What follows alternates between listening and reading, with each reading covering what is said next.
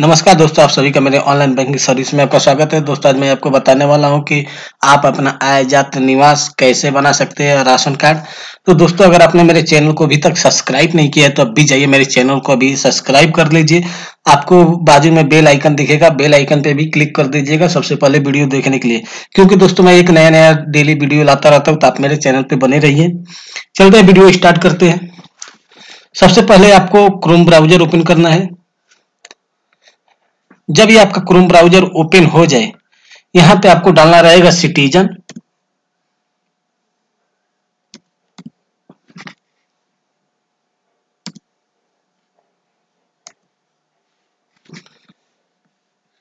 Citizen डालकर इसको आपको इंटर पे क्लिक करना रहेगा। फिर आपका ऐसा डिस्प्ले शो हो जाएगा। फिर आपको यहाँ पे दो नंबर पे देखिए दिए रहा है सिटीजन इस पे आपको क्लिक करना रहेगा। जैसे आप यहाँ पे क्लिक करेंगे, आपके सामने ऐसा डिस्प्ले शो हो जाएगा।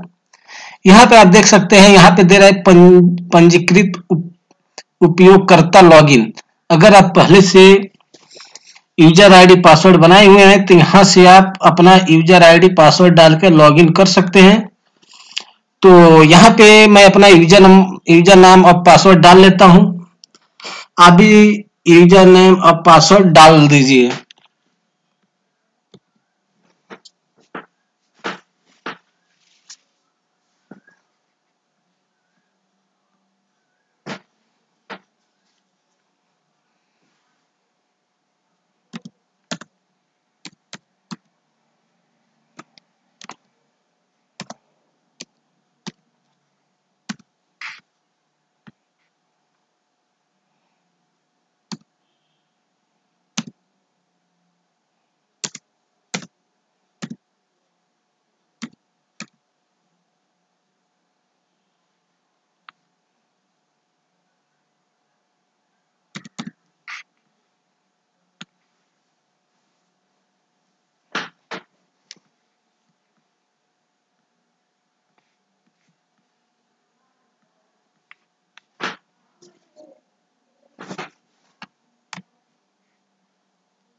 फिर आपको लॉगिन करने के बाद ऐसा डिस्प्ले शो हो जाएगा।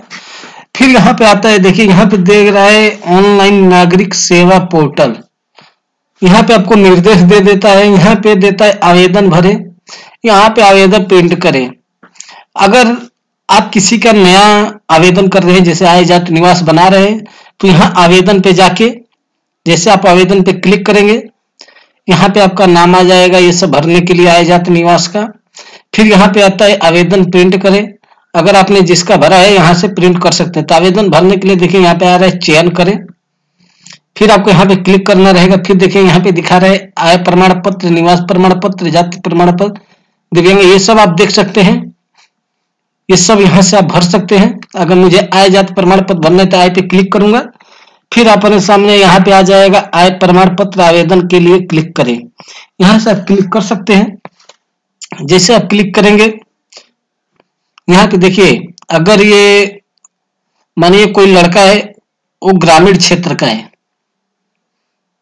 गाँव का तो यहाँ पे ग्रामीण से भर लेंगे।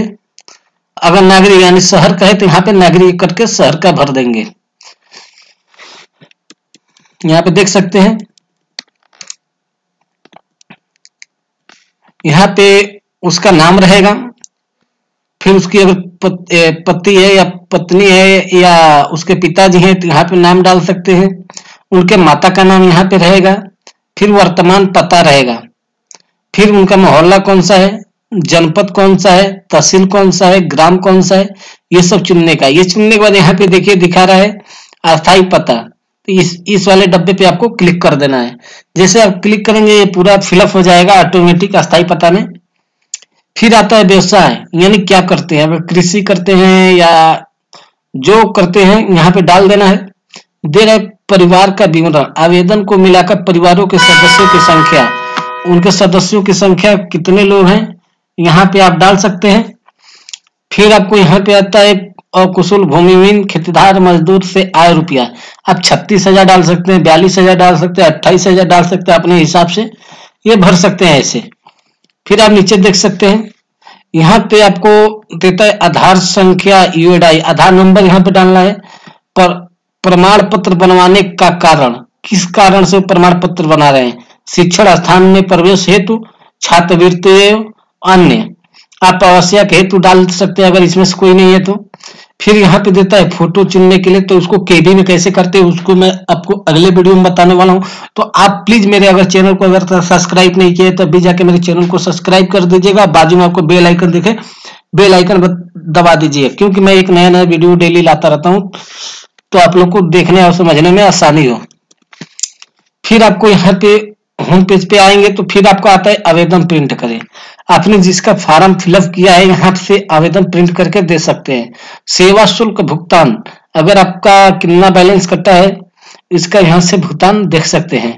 आवेदन की सूची, आप कितने तारीख को आवेदन किया था, यहाँ पे आपको दिन, तारीख सब दिखा देगा। मैं दिखा देता हूँ। ये देखिए, ये मैंने इतने लोगों का किया हूँ। आप देख सकते हैं मैंने कितने लोगों का भरा हूँ। यहाँ से भी आप देख सकते हैं, अब इसके नीचे भी है, ये देखिए। तो आप ऐसे देख सकते हैं, फिर आपको आता है यहाँ पे निस्तारित आवेदन। आप यहाँ पे देख सकते हैं किसका किसका सरकार के तरफ़ से आ गया है। यहाँ पे रसीद की लिपि देख सकते हैं, सुझाव देख सकते हैं, लॉगिन विवरण देखें, या तो लॉग आउट कर दे।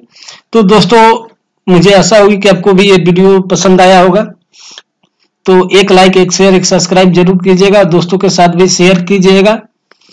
तो इसी को पे वीडियो को अब खत्म करते हैं। अगला वीडियो लाने वाला हूँ कि राशन कार्ड अप्लाई कैसे कर सकते हैं, आइए फ़ोटो को आप केबी में कैसे बना सकते हैं। तो दोस्तों, आप मेरे चैनल पे बने रहिए। इसी पे वीडियो को समाप्त करते हैं। जय हिंद, जय भारत।